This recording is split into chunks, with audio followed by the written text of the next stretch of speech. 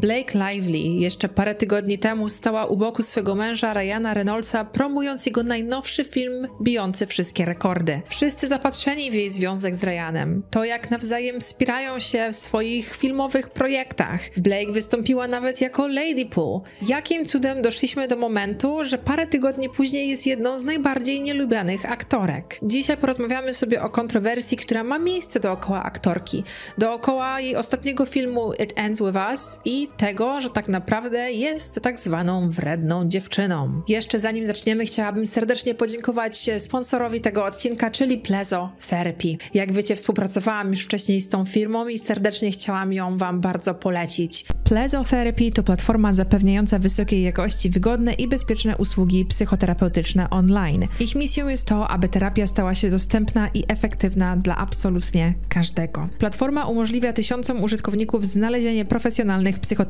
poprzez test opierający się na unikalnym algorytmie, który zapewnia najlepsze możliwe dopasowanie specjalisty do indywidualnych potrzeb każdej z osób. Terapeuci zatrudnieni na platformie mają minimum 3-letnie doświadczenie, a średnio 7-letnie. Każdy specjalista przechodzi najpierw przez proces selekcji oraz rozmowę kwalifikacyjną. Znalezienie psychoterapeuty na platformie jest naprawdę bardzo łatwe i szybkie. Wypełniacie test i widzicie wszystkich specjalistów. Platforma zapewnia nowy, innowacyjny oraz bezpieczny dostęp do terapii wszędzie i zawsze zapewniając również komfort oraz elastyczność. Jeżeli jesteście zainteresowani, to serdecznie zapraszam Was do zeskanowania kodu QR, który pojawia się właśnie na ekranie, albo do linku w opisie poniżej i pamiętajcie też o moim kodzie zniżkowym Suzan30 na minus 30%. A teraz wracamy do filmu. Film It Ends With Us miał premierę tuż po Deadpool i Wolverine, filmie, który pobił absolutnie wszystkie rekordy. Moim zdaniem wszystko zostało bardzo fajnie zaplanowane.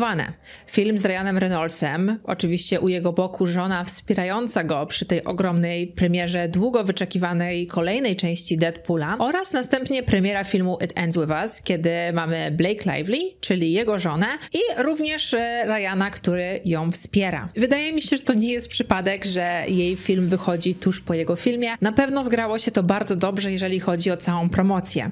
Jednak niestety wszystko obróciło się tak, że no skończyło się bardzo niekorzystnie dla Lively. Jeżeli chodzi o film It Ends With Us, jest to pierwsza powieść Colin Hoover, która została przeniesiona na duży ekran. Opowiada historię Lily Bloom, kobiety, która przeszła przez bardzo traumatyczne dzieciństwo, aby rozpocząć nowe życie w Bostonie i gonić za życiowym marzeniem o otwarciu własnej firmy. Jej przypadkowe spotkanie z czarującym neurochirurgiem Rylem rodzi intensywną więź, ale gdy oboje zakochują się w sobie, Lily zaczyna dostrzegać dostrzegać w nim strony, które przypominają jej związek rodziców. Kiedy pierwsza miłość Lili, Atlas, nagle pojawia się w jej życiu, jej związek z Rylem zostaje wywrócony do góry nogami, a Lili zdaje sobie sprawę, że musi nauczyć się polegać na własnej sile, aby dokonać niemożliwego wyboru dotyczącego jej przyszłości. W filmie, jak i w książce dużą częścią historii jest przemoc domowa i sama autorka była często oskarżana o romantyzowanie przemocy fizycznej w związkach. Jeżeli chodzi o adaptację filmową, no to ludziom nie spodobało się to romantyzowanie przemocy domowej. Nie podobają im się też e, kreacje oraz to, że 37-letnia aktorka odgrywa rolę 23-letniej Lily Bloom. Jednak największe kontrowersje pojawiły się w momencie, kiedy cała obsada zaczęła promować film. Przeważnie główne postacie udzielają razem wywiadów, razem to wszystko promują. Jednak tutaj główne postacie odgrywane przez Blake oraz Justina Baldoniego nie pokazują się razem. Blake udziela wywiadów oddzielnie z producentem filmu, nawet autorką e, powieści.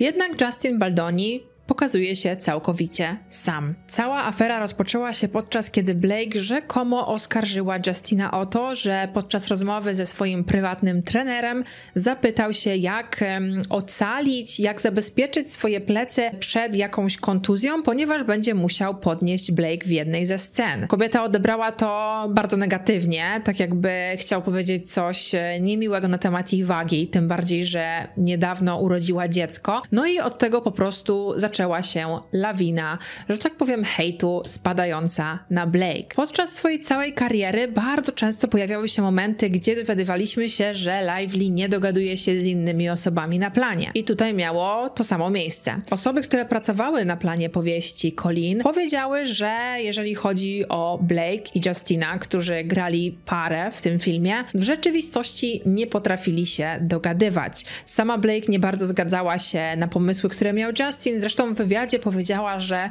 nie potrafi odegrać roli, y, dopóki nie będzie mogła też dorzucić czegoś swojego, jeżeli chodzi o stronę produkcji danego projektu. Jedna z osób pracujących na planie filmu powiedziała, że Justin i Blake ewidentnie się nie lubią. Nie sądzę, żeby się nienawidzili, jednak nie widzę, aby ze sobą jeszcze raz współpracowali. Mają zbyt różne style. Blake ma poglądy bardzo biznesowe, bardzo praktyczne, a Justin to jest druga strona medalu. Dla niego wszystko jest sztuką. Takie słowa wypowiedział jeden z pracowników. Według plotkarskiego podcastu Demois, Lively była niezadowolona z jednej sceny, która była zrealizowana według wersji Baldoniego, więc wraz ze swym mężem, Ryanem Reynoldsem, sfinansowali własnego montażystę, aby stworzyć inną wersję. Pojawiły się plotki, że podobno wersja Baldoniego była dużo lepsza, jednak końcowo wybrano tą stworzoną przez Lively. Jeżeli chodzi o promocję filmu, to nie chodziło tutaj tylko o to, że Justin nie stoi u boku Lively, aby promować właśnie film. Chodziło też o to, jak Blake zaczęła się zachowywać, a raczej jak kontynuowała zachowania,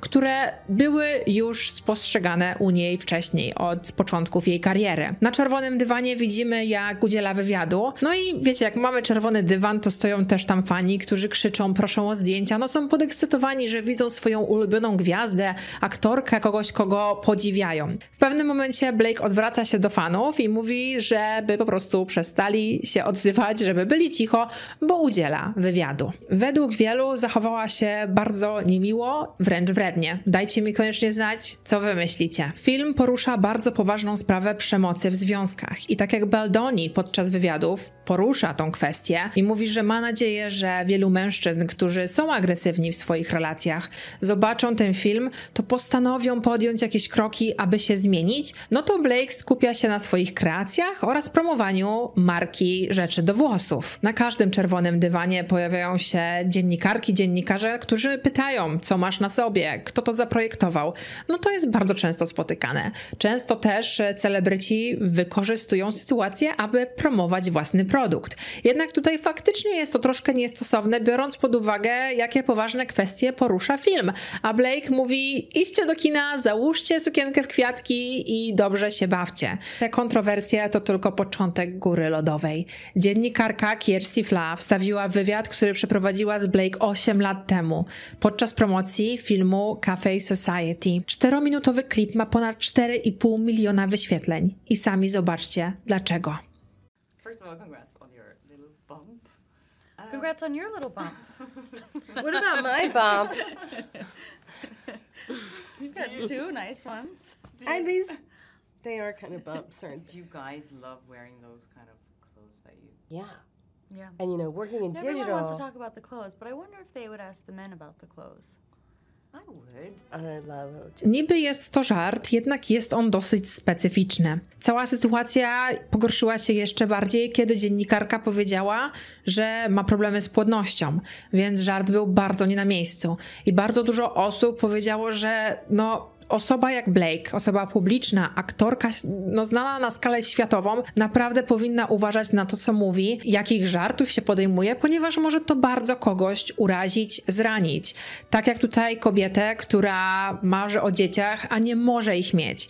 Więc Blake mówiąc, że też masz fajny brzuszek, naprawdę mocno ją zabolało. Dlatego też ten filmik nazwała wywiad, który sprawił, że prawie odeszłam ze swojej pracy. Mimo tego, że ten wywiad miał miejsce 8 lat temu, to dopiero teraz stał się tak bardzo popularny i ludzie zaczęli wyciągać inne momenty z kariery Lively, pokazując, że jest tak zwaną mean girl, czyli wredną dziewczyną. To nie był pierwszy ani ostatni żart o ciąży zaadresowany przez Lively. Kiedyś została zapytana o to, jakie ma zachcianki ciążowe i śmiejąc się powiedziała, że kobiety w ciąży nie mają zachcianek, tylko po prostu wykorzystują swój stan, aby dostać to, czego chcą. Podkreśliła, że jest to żart i że po prostu e, ona tutaj się tylko z tego wszystkiego nabija. Jednak wiele osób e, poczuło się bardzo urażonych tym, że Blake tutaj odpowiada za wszystkie kobiety ciężarne, mówiąc, że nie ma czegoś takiego jak zachcianki. W kolejnym wywiadzie według wielu Blake domaga się prezentu od dziennikarza, który no można usłyszeć, że troszkę czuje się niekomfortowo. Any cravings? How's it going along? My wife's seven months right now, so I know what it's all like. The feet rubbing. The, Oh, it's, she's just taking advantage. is she? you can exploit it if you want. But, uh, every night. I'm rubbing feet every night, Blake. I'm all for that stuff. Cravings, nah. No, No, we just lie. you're good. You just It's the perfect way to get what you want all Is the that- time. If you want chocolate ice cream at midnight, you're, craving. you're busting out pregnant women everywhere. No, I'm teasing. Oczywiście nie odbyłoby się też bez skandalu podczas promowania jednej z większych produkcji, w których zagrała Blake, czyli Gossip Girl. Tam na panelu porównała swoich współpracowników do małp. Chuck has a matching pet monkey with coordinating outfits, and I was like, I would love to be part of the show, but I can't act with a monkey. and then I got a few of them. Come on, it was a joke. Jeżeli oglądaliście kiedykolwiek Gossip Girl, no to Blake i Leighton grały tam najlepsze przyjaciółki. Jednak w prawdziwym życiu tylko się tolerowały i tak naprawdę nic innego je nie wiązało. Nie potrafiły się zaprzyjaźnić, mimo że przez tyle lat grały najlepsze przyjaciółki. Co pokazuje, że Blake ma trudności z zaprzyjaźnieniem się z innymi osobami na planie i często sprawia różne trudności. Anna Kendrick, która pracowała z Lively na planie filmu Simple Favor, również powiedziała, że Blake wydawała się być bardzo miła i kochana, jednak później poznała jej ciemniejszą stronę i sarkastyczny humor. Dajcie mi znać, jak wy odbieracie te żarty. Blake co prawda podkreśla tam, że tylko się nabija, że hej, hej, to jest żart, uspokójcie się, jednak wiele internautów uważa, że jako aktorka nie powinna czegoś takiego mówić, może być to źle odebrane, może kogoś urazić. Jestem ciekawa, co wy myślicie. Czy rozumiecie tego typu sarkastyczny, troszkę ciemniejszy humor? Czy aktorka powinna się tak wypowiadać? Czy może powinna po prostu spojrzeć na wszystko, co robi, no i nie wypowiadać się w ten sposób i tak żartować? Mimo tego, że od wielu, wielu lat jest w szczęśliwym związku z Ryanem i mają piękną rodzinę, to ludzie teraz też wywlekają, że rozbiła ona jego związek ze Scarlett Johansson. Blake i Ryan poznali się na planie filmu Green Lantern. Podobno byli ze sobą bardzo blisko, aż za blisko, spędzając czas e, w pojedynkę, sam na sam, bez nikogo dookoła. I jakby nie jest to nic dziwnego, tylko że Ryan był wtedy żonaty, a Blake była wtedy w związku z Leonardo DiCaprio. Niedługo po premierze filmu okazało się, że obydwie pary rozstały się ze swoją drugą połówką i postanowiły razem wejść w związek. Pojawiły się plotki, że Scarlett nie przepada za Blake i obydwie aktorki do dziś robią wszystko, aby nie być w tym samym pomieszczeniu. Kontrowersji nie ma końca i wszyscy bacznie obserwują Blake, aby tylko wyłapać jakieś jej niemiłe czy nawet hamskie zachowanie. Sama rozumiem też to, że niektórzy są niezbyt zadowoleni, że na przykład kobieta e, promuje produkty alkoholowe, sw- swoją własną firmę z drinkami alkoholowymi, mówiąc wprost w reklamie, że sama nie pije alkoholu. Nie wiem, dlaczego miałaby założyć taką firmę, jeżeli w ogóle nie pije. Mówi, że robi najlepsze drinki, ale sama ich nie skosztuje. Mam wrażenie, że dopiero co wszyscy wzdychaliśmy do Lady Pool i Deadpoola, a teraz Lively stała się jedną z najbardziej nielubianych aktorek. Jeżeli chodzi o film It Ends With Us, osobiście go jeszcze nie widziałam, tak naprawdę nigdy mnie nie zachęcił, wręcz się zdziwiłam właśnie, że Blake jeszcze w filmach występuje, bo dawno o niej nie słyszałam tak naprawdę. Mogło to wszystko być dobrze zaplanowane i czy ta kontrowersja sprawdzi, że ludzie nie będą chcieli go oglądać? Może to zadziałać zupełnie na odwrót i ludzie właśnie będą jeszcze bardziej wyszukiwać to, będą chcieli obejrzeć, będą patrzeć na te wywiady, więc może to po prostu wszystko po niej spłynąć. Dajcie mi znać koniecznie, co wy myślicie na ten temat. Dziękuję jeszcze raz sponsorowi Plezo Therapy i zapraszam was do linku w opisie, gdzie pamiętajcie z moim kodem Suzan30 macie minus 30% na swoją pierwszą sesję e, z terapeutą. Ja wam dziękuję serdecznie za oglądanie kolejnego materiału na moim kanale i do zobaczenia w następnym. Pa, pa.